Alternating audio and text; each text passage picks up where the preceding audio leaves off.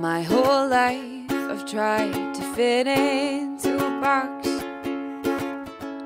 Never seem to find a box that'll fit on me. Cause I like aesthetics, but I watch cartoons, play video games, but love real sports too.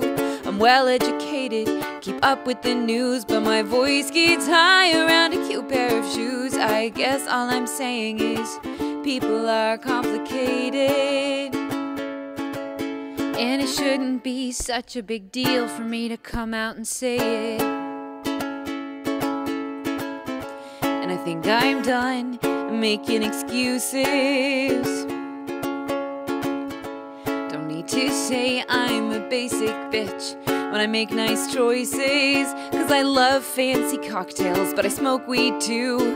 Girls or boys, it depends on the mood. I'm the happiest person, but I write sad tunes. I'm the last one awake and the first one up too. I guess all I'm saying is people are complicated. And it shouldn't be such a big deal. Yo, I should just be able to be who I want. It shouldn't be such a big deal to come out and say it.